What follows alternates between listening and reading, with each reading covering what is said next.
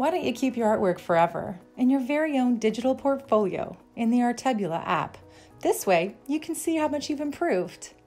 Download it today from the Google Play Store or the App Store.